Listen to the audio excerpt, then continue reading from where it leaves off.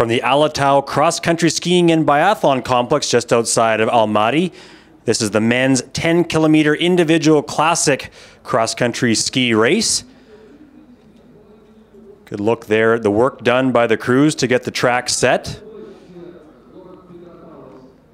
And some of the athletes as they prepare for the opening competition in men's cross country ski action. There was bib number eight, Alessandro Carlet of Italy. There in bib number three, Jordan Cascagnet of Canada. And our first skier of the day, it'll be Kevin Geisen of the United States of America. He'll get us going here on this beautiful sunny day in the mountains just outside of Almaty.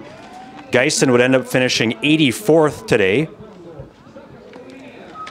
There is skier number 10, Nej Stanek of Slovenia.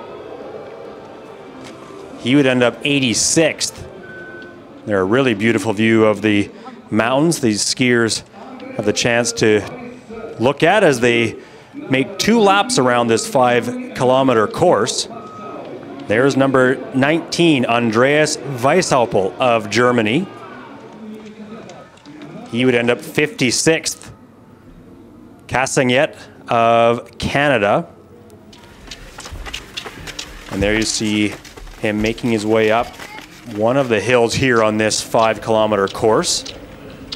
And there's Yupeng Fei Du of China at one of the intervals. He would finish 78th. And Emanuele Becchis of Italy. His day would finish in 67th spot.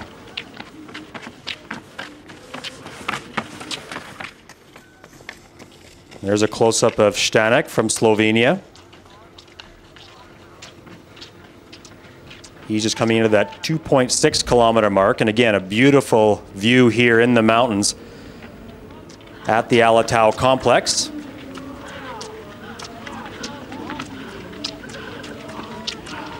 There's Alraun of Germany.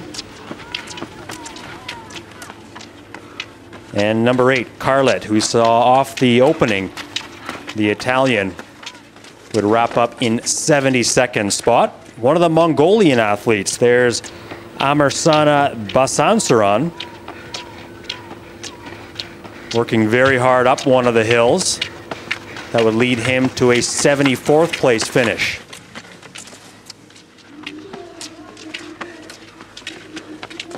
Now to some of the leaders.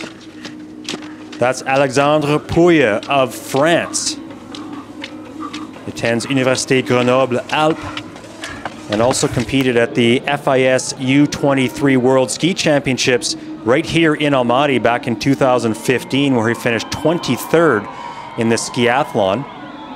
He had a very consistent race here today in Almaty, as he was third throughout every interval. And here he's coming in next to Sergey Malyshev. Keep in mind, this is a staggered start, so these two are competing against the clock and not each other. Malyshev would end up 14th. And for Pouille right now, he comes in in second spot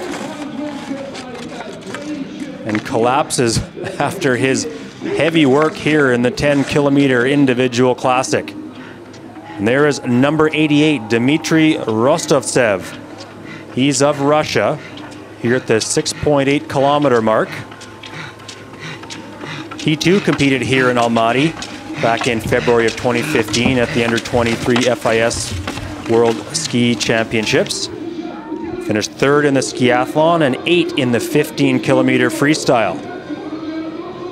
Through the first three intervals here today, he was in first place, but he's not going to catch countryman Valery Gontar here today, trying instead to stay in front of Alexandre Pouille to claim a silver medal and Rostovtsev will do just that in a time of 25 minutes, 20.9 seconds. And there is Valery Gontar. He is the defending bronze medalist in this event from Slovakia back in 2015, now looking for gold.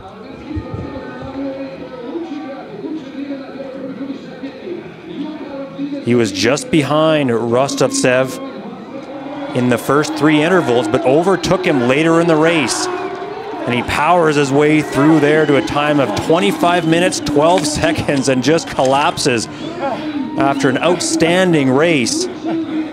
So it's bronze for him in 2015, gold here in Almaty at these 28th Winter World University Games.